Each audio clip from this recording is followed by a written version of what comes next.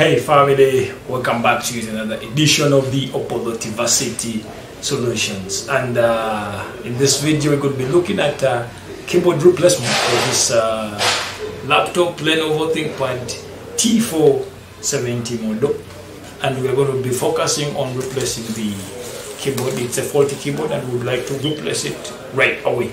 So let's dig into the video and see how we can replace this keyboard right now.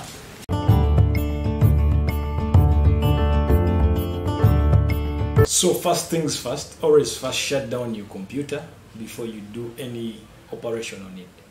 Before you do any uh, dismantle or removing any parts of the laptop. So it's always uh, basic to shut down before you do any activity in regards to repairs.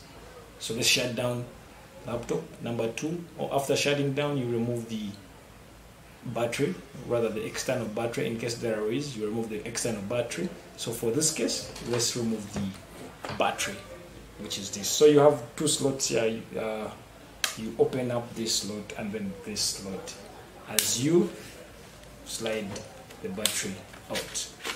So this is the battery. We've removed it. Now that we have removed the battery, we have two uh, two screws that we need to remove and screw. This and this. So let's dig in and remove, or rather unscrew this. So we unscrew this screw number one. Then go to screw number two as well.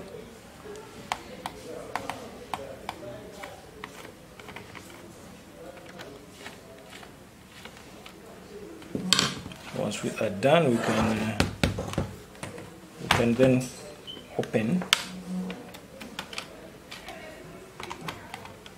Once we confirm the screws are loose, we then open the laptop and then slide open, slide open the keyboard, uh, the other back side, just like this.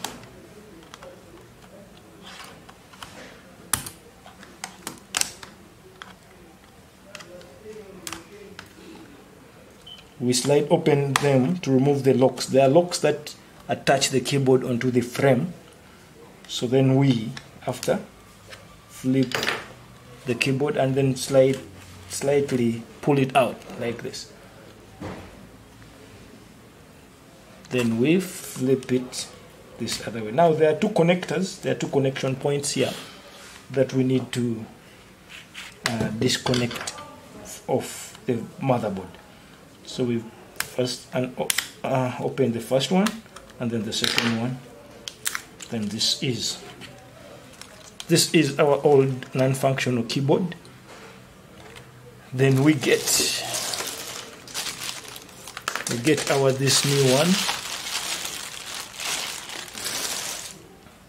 And uh, let's get rid of this old non-functional one and replace with the new one. In the same spirit, just flip uh, turn it the back side and then reconnect these connectors.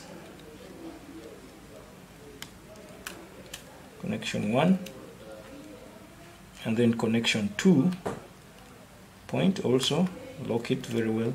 Then flip close the keyboard just like this.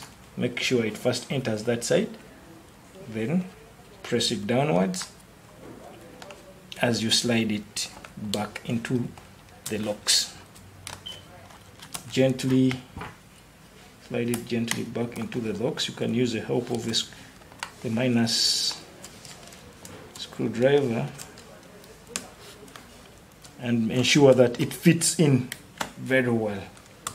So once it's done fitting in you can then close the laptop and then tighten and then tighten our screws. Tighten our screws and tighten our screws. Our two screws this and this. So once we are done we can now then reconnect our battery. We can now reconnect our battery. And then we turn it on, we turn the connector, the computer on to test.